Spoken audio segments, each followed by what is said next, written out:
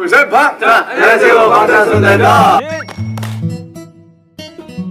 비 정국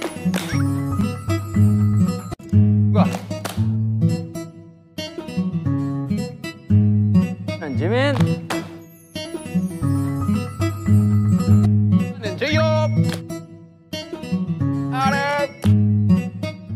안녕하세요. 제이홉의 방에 오신 여러분 환영합니다. 저는 이 방의 큐레이터 제이홉입니다.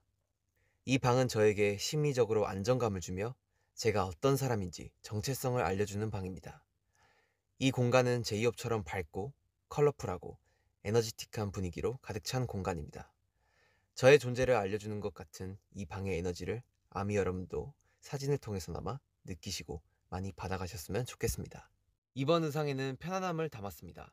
방에서 충분히 쉬면서 즐길 수 있는 룩으로 제가 진짜 평소에 방에서 입는 로브의 느낌을 그대로 살렸습니다. 여러분은 이 방에서 저를 가장 잘 표현한 물건이 뭐라고 생각하시나요? 저는 늘 어디 나갈 때 옷에 신경을 많이 쓰는 편입니다. 방 가운데 진열해 둔 신발들과 제가 입은 옷은 이 방에서 제 이업을 가장 잘 표현하는 중요한 부분입니다. 신발들은 요즘 제가 실제로 자주 입는 색상들을 고려해서 넣어 보았습니다. 땡큐